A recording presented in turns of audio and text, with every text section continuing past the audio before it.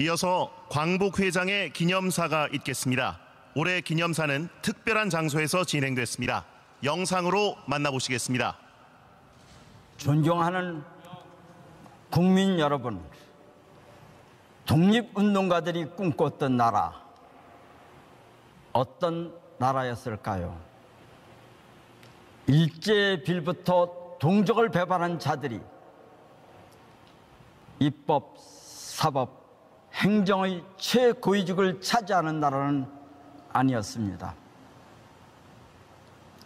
외세에 의해 분단된 나라에서 남북의 형제들이 서로 가슴에 총구를 겨누고 싸우는 나라는 아니었습니다. 한국 사회의 모순은 친일 위청산과 분단입니다. 제2차 세계대전 시 일본이 인도네시아를 점령하고 네덜란드계 여성 35명을 일본군 위안부로 끌고 갔습니다. 전범 재판에서 일본군 장교 7명이 반인류죄로 처벌되었습니다. 그러나 수없이 많은 한국인 위안부 연행에 대해서는 아무도 처벌받지 않았습니다. 반인류죄의 인류에는 백인 여성만 해당되고 아시아 여성은 해당되지 않았습니다. 반인류죄에 대해서는 시효가 없이 끝까지 찾아 응징한다는 국제사회의 법논리는 지금도 관철되고 있습니다. 최근 독일 검찰은 나치 수용소 간수였던 백세 노인을 법정에 세웠습니다.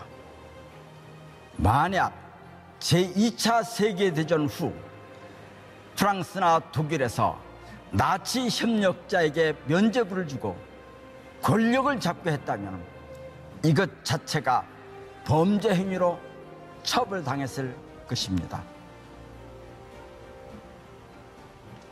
1945년 일본 패전 후 미 군정은 임시정부와 광복군을 강제로 해체시키고 일제에 협력한 전범들을 주요 관직에 기용했습니다. 백인을 학살한 나치는 반인류 범죄로 처벌하면서 일제가 학살한 아시아인은 반인류죄의 인류에 해당하지 않았습니다. 초대 내각에 참여한 독립운동가 이시영 부통령은 신일 세력들이 발호해 손발이 묶여 아무것도 할 수 없다고 고백하고 부통령직을 사퇴했습니다.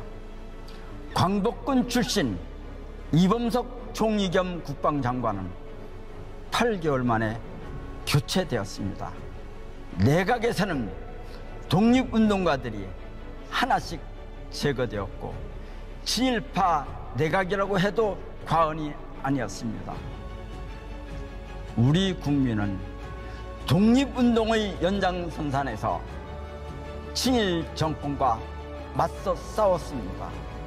4.19 혁명으로 이승만 친일 정권을 무너뜨렸고 국민 저항의 정점에서 박정희 정권을 무너뜨렸고 국민 저항의 정점에서 박정희 반민족 군사 정권은 자체 붕괴되었습니다.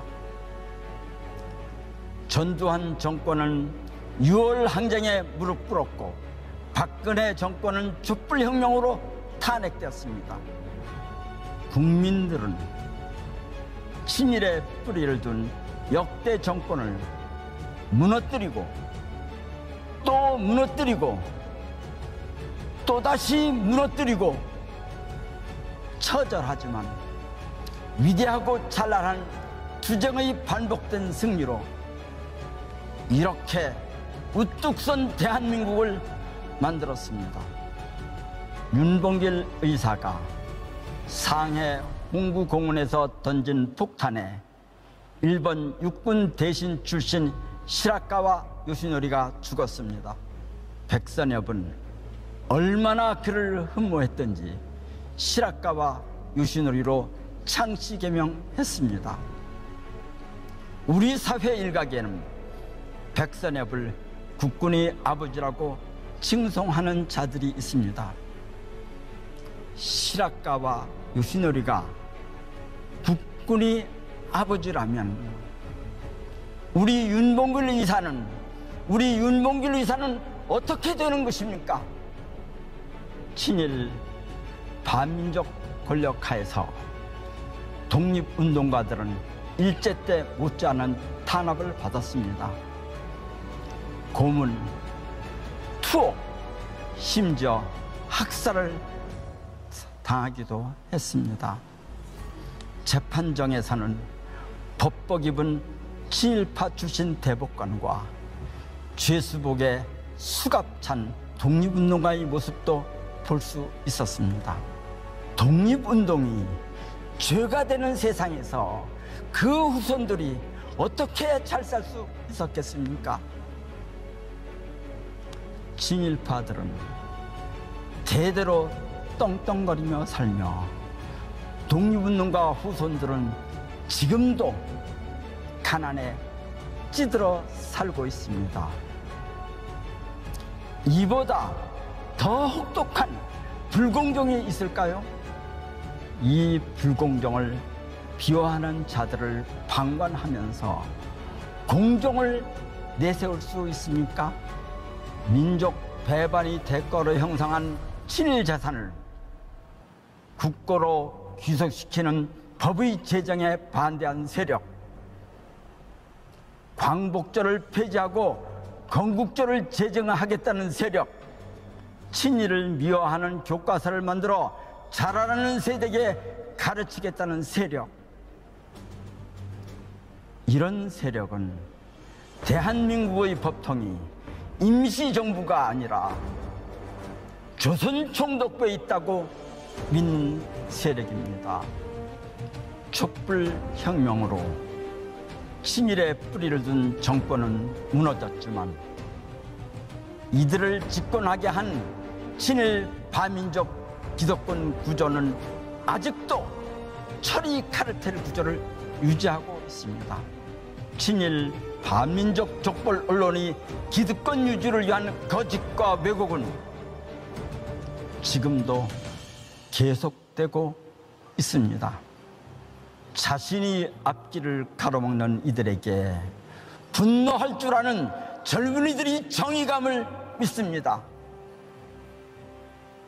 아들, 딸, 손녀, 손자의 앞길을 가로막는 절망의 불공정 사회를 만들어 온 친일 반민족 기득권 세력의 편에 설 참 어른은 없을 것입니다. 민족 정통성의 궤도를 이탈해온 대한민국은 깨어난 국민들의 힘으로 이제 제 궤도에 진입하기 시작했습니다. 우리가 여기서 무릎 꿇으면 다시 일어설 수 있을까요?